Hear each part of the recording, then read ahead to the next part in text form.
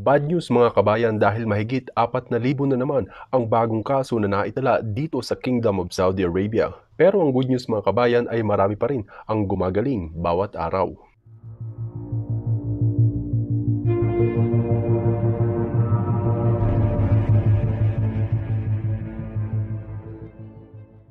Hello mga kabayan, mga ka-OFW, maligayang pagbabalik na naman sa ating channel, ninsm.tv. At sa araw na ito ay magbibigay na naman tayo ng panibagong update patungkol pa rin sa paglaganap ng novel coronavirus or COVID-19 dito sa Kingdom of Saudi Arabia kasama na rin ang update sa bansang Pilipinas at sa buong mundo. Pero bago tayo magtungo sa pinaka-highlight ng update natin dito sa Kingdom of Saudi Arabia ay alamin muna natin ang kalagayan sa buong mundo. Ayon sa Worldometer mga kabayan ay meron ng mahigit 10.4 million na kataong nagkaroon ng COVID-19 cases o mga nag-test positive sa virus na ito. Meron eksaktong bilang na 10,454,991.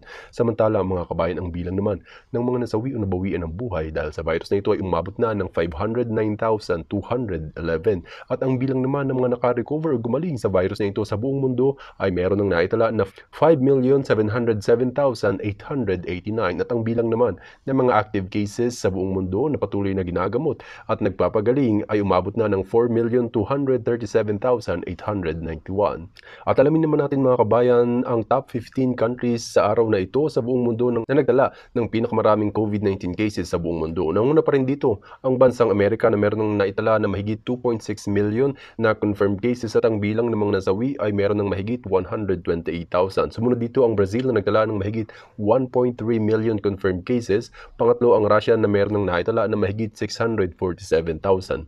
Sumunod dito ang bansa ng India na meron ng mahigit 573,000 na confirmed cases. Panglima mga kabayan ay ang United Kingdom na, na meron ng mahigit 311,000 confirmed cases. Sumunod naman ang Spain, Peru, Chile, Italy, Iran, Mexico at Pakistan na nagdala ng mahigit 200,000 na confirmed cases. Sumunod naman ang Turkey, Germany at Saudi Arabia na nagtala ng mahigit sa 100,000 confirmed cases. At yan nga ang update natin sa buong mundo. Magtungo naman tayo sa update sa bansang Pilipinas. Ay ayon sa huling update ng Department of Health sa araw na ito, June 30, 2020, ay mayroon hong mahigit isang libo na bagong kaso ang naidagdag sa mga confirmed cases natin sa bansang Pilipinas at umabot na ho ng 37,514 ang total confirmed cases sa bansang Pilipinas at ang bilang ng mga nasawi o nabawian ng buhay dahil sa virus na ito ay umabot na ng 1,266. Ang bilang naman ng mga naka-recover o gumaling sa ating bansang Pilipinas ay umabot na ng 10,233.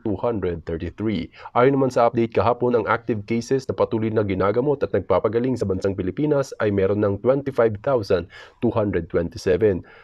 Karamihan pa rin sa mga ito ay under sa mild condition na merong naitala na mahigit 24,000. Sumunod naman ang mga asymptomatic na nila ng 942 at merong 122 na under sa severe condition at merong 26 na under sa critical condition. At yan nga ang update natin sa bansang Pilipinas. Magtungo na nga tayo mga kabayan sa pinaka-highlight ng update natin sa araw na ito dahil dito sa bansang Saudi Arabia ay nagtala na naman ng mahigit 4,000 sa loob lamang ng isang araw. Nagtala ito ng 4,387 na bagong kaso dito sa Kingdom of Saudi Arabia. Ang total confirmed cases ng mga kabayan ay umabot na ng 190,823. Samantala, ang bilang naman ng mga nasawi o nabawian ng buhay dito sa Kingdom of Saudi Arabia ay meron ng natala na 1,600 149.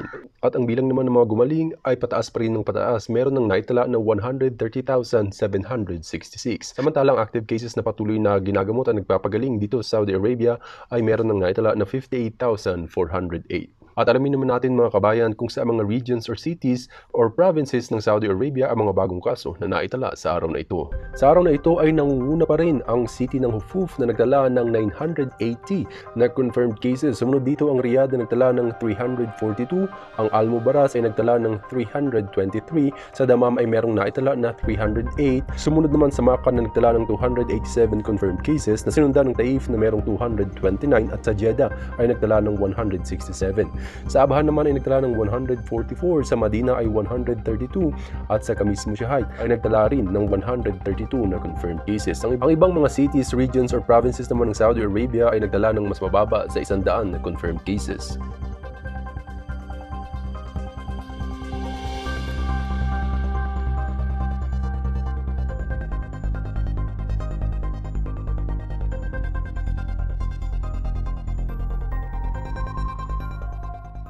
At yan nga mga kabayan ang update natin sa araw na ito. Nga na namang tumaas ang bilang ng kaso dito sa Saudi Arabia dahil meron namang naitala na mahigit na 4,000 sa loob lamang ng isang araw. Kaya naman kabayan ka OFW, bagamat maluwag na dito sa Saudi Arabia at wala na hong curfew ay doble ingat pa rin tayo. Mas maigi pa rin na kung wala namang gagawing mahalaga sa labas ng bahay ay stay at home lang po muna tayo. At, at kung hindi maiwasan na lalabas ng bahay, ugaliing magsuot ng face mask. At always practice ang social distancing at least 1 meter away mula sa ibang tao. Isang simpleng paraan mga kabayan para makaiwas sa virus na ito ay ang paghuhugas ng kamay. Recommended po yan ng World Health Organization at Ministry of Health. Kung meron mga katanungan or inquiries sa mga dapat i-report sa Ministry of Health dito sa Kingdom of Saudi Arabia ay tumawag sa kanilang hotline number 937. Kung meron mga katanungan sa ating bahada konsulado ay tumawag sa mga numbers na makikita sa screen.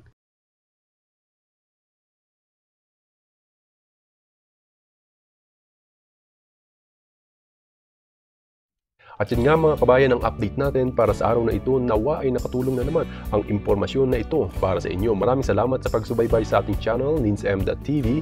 At kung gusto mong manatiling updated sa mga bagong videos and updates natin, click lamang ang subscribe button at mag-comment kayo sa baba. At susubukan kayo sagutin within 24 hours. Muli, ninsm.tv, nagpapaalam.